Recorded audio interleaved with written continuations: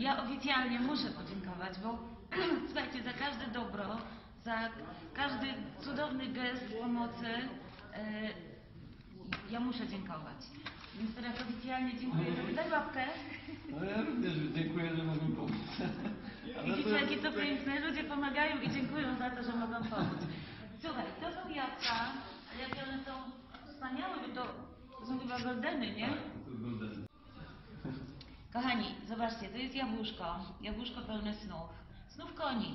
Naszych też, ale konie będą ze smakiem e, te cudowne witaminy jadły.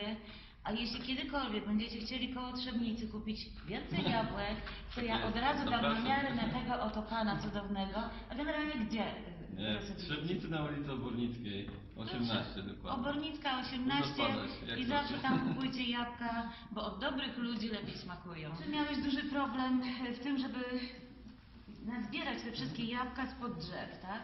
I do kogo się zgłosiłeś, żeby pomógł, pomógł Tobie, pomógł nam, Tobie, żeby przywieźć koniom starze te jabłuszka? Kto No, pomógł? Udałem się do szkoły, e, do mojej byłej szkoły, e, Aha. na Wojska Polskiego w Trzebnicy, do szkoły numer jeden. E, I pani dyrektor powiedziała, że bardzo chętnie znajdą się wolontariusze, którzy, którzy będą chcieli pomóc i zebrać trochę tych jabłuszek. No i w ubiegły czwartek, zdaje się, wpadła do mnie grupa e, młodych, fajnych ludzi, którzy z wielką radością rzucili się w wir pracy.